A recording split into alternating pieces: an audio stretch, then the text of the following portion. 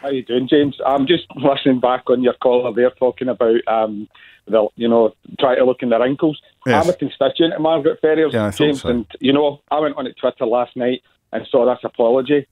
I don't want to see an apology from Margaret. I want to see her saying I've resigned as an MP, uh, my MP. We're we're living here and we're certainly in Hamilton. We're under stricter we were under stricter restrictions. Um, you know, three weeks ago, I had my daughter's birthday the weekend, who she couldn't see a lot of her family for. So you know, we're, we're, we're sacrificing a lot of lives, you know, to make sure the prevalence of this virus doesn't get spread. And the, the audacity of the women to go down to London, Yeah. you know, and come back up. No it's like a Russian. you know. It's like a Russian doll of wrongness, isn't it? You, you're looking. Uh-huh. You're looking at the first one, and you think, "Oh boy, that's going to be tricky to get out of." And then you lift It's the lid. Oh my God, there's another one underneath. There's another one, and another one, and another one. And then I got the train back to Scotland, knowing that I had it. I mean, it's insane.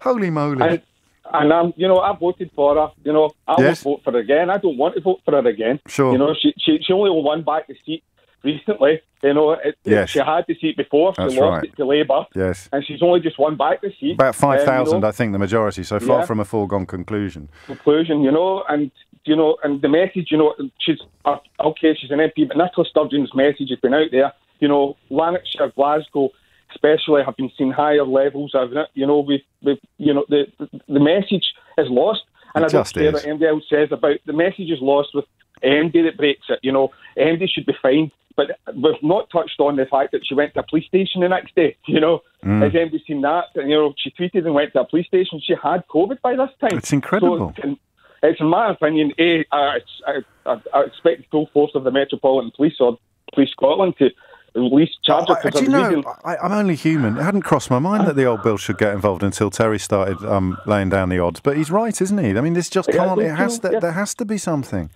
You know, James, at the weekend there was a holiday weekend. I don't know if she went to the police weekend. station. She said I notified the police of my actions. I You know, but there's a picture of her. There's a picture on Twitter, James. I don't. I'll have to find it. All of right. her stand uh, with Well, I'll social distancing on the Tuesday. I think she went to a police station to thank them. No, so as she went with this COVID, I, I, I can't verify it and know if it's the exact one, but it no, was doing the rounds I was stress that. Yeah, but you know, you can't Yeah. you can't believe everything you write read on Twitter unless Yeah. it's unless it's coming from my account, Peter. True. Um, so you, SNP voter, actual constituent, put her in the House Yeah. of Commons. She can't Uh-huh. not just. I mean, she has to leave the job, and she probably needs to have her collar felt. no, We're going to 12 o'clock on the Friday, and she's still saying she's my MP, even though she's an independent. She's Yeah. had the whip withdrawn. Okay, Sturgeon can't sack her, she can't sack an MP, but why is she not just resigned? You, You well, know, you've got that power of recall now. You remember Zac Goldsmith introduced legislation that means MPs who've been rejected by their constituents can be removed from the House of Commons um, Yeah. without their, uh, having to wait for the next election. Bizarrely, having been removed from the House of Commons twice by his own constituents, he somehow ended up in the House of Lords. But that's a conversation for a different day. You Yeah, do, you, could, you can. I think you get the right the requisite number of signatures, and you can, you can um, exercise that power of recall. I hope it doesn't come to that because of the damage it does to the bond of trust between politician and, and body politic. But I, I mean, there you go, right on the money. Peter voted for Margaret Ferrier, remains loyal to the Scottish National Party, lives still in the constituency. He gave it a 12 noon deadline, which means she's got 16 minutes.